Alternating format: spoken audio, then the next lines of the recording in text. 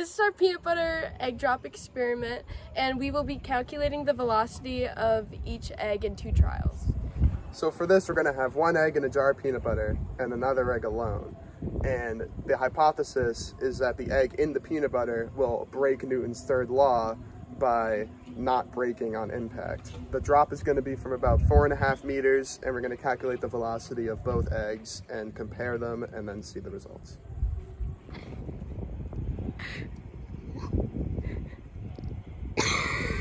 Beautiful. Chris will now drop the peanut butter egg. Three, two, one, drop.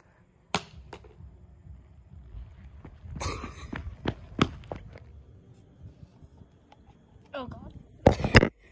Is it broken? No. Yeah! Alright, so It's a little sticky, but it's not broken.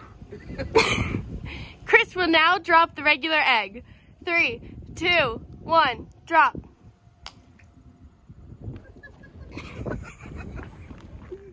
These calculations are explaining the time or the velocity it takes for each trial to reach the ground.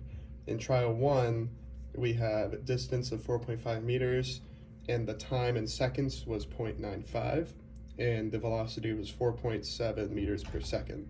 In trial two, the distance was still 4.5 meters, and the time was 0.98 seconds, and the velocity was 4.6. Despite the first trial being the peanut butter egg having a faster velocity, the egg still did not break, which defies Newton's third law, meaning the opposite force that acted on the egg, meaning the pavement, did not cause a reaction on the egg due to the extra force of the peanut butter uh, patting the egg on impact. Do it. Bang! Chris now eats it into the can.